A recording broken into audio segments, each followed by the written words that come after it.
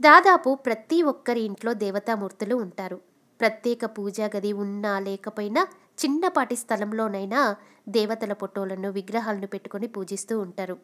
ఇంకొంతమంది ప్రతిరోజు కాకపోయినా సోమ శుక్ర శనివారాల్లో ఆ ఇంట్లో శుభాలు జరగాలని ఇంట్లో దీపం వెలిగించి అగరబత్తులు వెలిగించి పూజించి ప్రార్థించుకుంటారు. అయితే ప్రతి ఒక్కరూ ఏదో ఒక సమయంలో ఇంటిని వదిలి దూర ప్రయాణాలు చేయవలసి వస్తుంది. బంధువులింటికో ఇంటికో అప్పుడప్పుడు వెళ్ళాల్సిన అవసరం తలెత్తుతుంది. అలాంటి సందర్భాల్లో ఒకటికి మించి ఎక్కువ రోజులు ఇంటిని వదిలి ఉండాల్సి వస్తుంది. అలాంటి సమయంలో ఇంట్లో ఉన్న దేవతలకు పూజలు ఎలా అనే అనుమానం చాలామందికి వస్తుంటుంది. కానీ ఇంటిని వదిలి ఉండాల్సిన సమయంలో పూజలు చేయడం అసాధ్యం. అలాంటి సందర్భంలో ఏం చేయాలి? అలాంటి సందర్భంలో దేవతా విగ్రహాలను దేవతా యంత్రాలను లో పెట్టి ఉంచాలి. మీ దగ్గర ఎన్నైతే విగ్రహాలు ఉన్నాయో దానికి సరిపడా ఇలాంటి ఒక చిన్న బాక్స్ కానీ ప్లాస్టిక్ బాక్స్ కానీ ఇత్తడిది కానీ తీసుకొని దాంట్లో నిండా సగం వరకు బియ్యం పోసి దాంట్లో దేవతా విగ్రహాలని పెట్టేసి మూత పెట్టి ఉంచాలన్నమాట.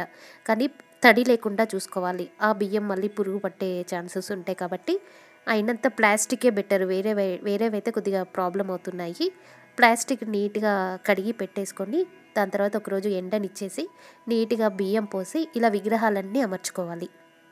పెట్టిన తర్వాత ఇలా దేవుడి రూమ్లోనే పెట్టుకోవాలి.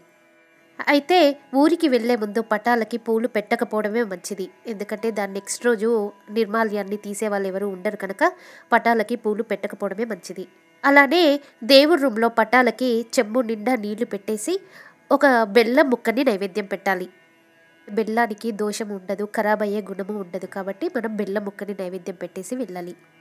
అలానే ఊరి నుంచి తిరిగి వచ్చిన తర్వాత దేవతా విగ్రహాలన్నీ చక్కగా చింతపండు నిమ్మకాయ లేదా విభూది పౌడర్ తోటి క్లీన్ చేసుకోవాలి. ఎవరైనా కెమికల్ పౌడర్లతోటి క్లీన్ చేసినట్లయితే అలా చేయకూడదు. ఒకవేళ ఎవరైనా చేసినట్లయితే నల్లగా ఉంటాయి కదా మరి చూడ్డానికి కూడా బాగుండాలని కొంతమంది చేస్తారు. అలా చేసినట్టయితే చక్కగా ఒక గిన్నెలో పసుపు వేసి ఆ పసుపు వేసిన గంగాజలంలో ఒక రెండు నిమిషాలు ఒక నిమిషం ఉంచేసి తీసివేయాలి. ఎందుకంటే విగ్రహాలకి కెమికల్స్ ఉన్న పౌడర్ని యూజ్ చేసి క్లీన్ చేస్తే కనుక వాటికి ఉన్న శక్తి తరిగిపోతుంది. పెద్ద పెద్ద ఆలయాల్లో కూడా కెమికల్స్ని అస్సలు వాడరు. కనీసం పాల ప్యాకెట్లు కూడా కొన్ని ఆలయాల్లో యూజ్ చేయరనమాట ఎందుకంటే దాంట్లో కెమికల్ కలుస్తుందని. తర్వాత విగ్రహాన్ని ఒక మడిబట్ట మీద ఉంచి వాటిని ఒక మడిబట్టతోటి తుడిచి గంధము పసుపు కుంకుమ పెట్టడానికి ముందే ధూపం వేయాలి.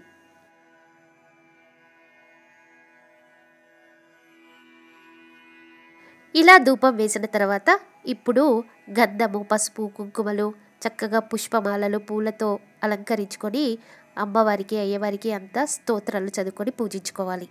అయితే చివరిలో మనం విగ్రహాలు ఉంచిన బియ్యం ఉన్నాయి కదా ఆ బియ్యంతో కొద్దిగా స్వీటు ఏదైనా స్వీట్ పదార్థం చేసి దేవుడికి నైవేద్యంగా పెట్టాలి.